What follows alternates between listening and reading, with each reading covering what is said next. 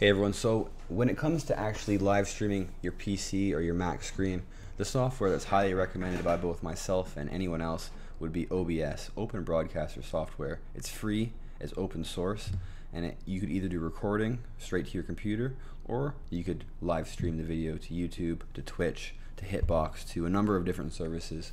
Of course, we're going to be focusing on YouTube for this actual tutorial. So do download Open Broadcaster software it's Windows, Mac, or Linux. You could go for the OBS Classic, but I would highly recommend you go for the newer version, OBS Studio. It's the most go-to software in the world for streaming onto YouTube, and I highly suggest you go with that solution as well. How much does it cost? Zero dollars.